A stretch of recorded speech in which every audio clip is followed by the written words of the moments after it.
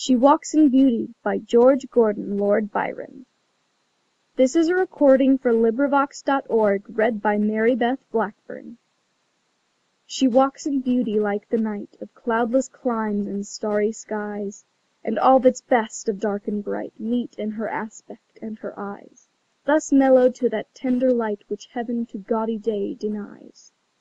One shade the more, one ray the less, Had half impaired the nameless grace Which waves in every raven tress, Or softly lightens o'er her face, Where thoughts serenely sweet express How pure, how dear their dwelling place. And on that cheek and o'er that brow, So soft, so calm, yet eloquent, The smiles that win, the tints that glow, But tell of days in goodness spent, A mind at peace with all below, A heart whose love is innocent.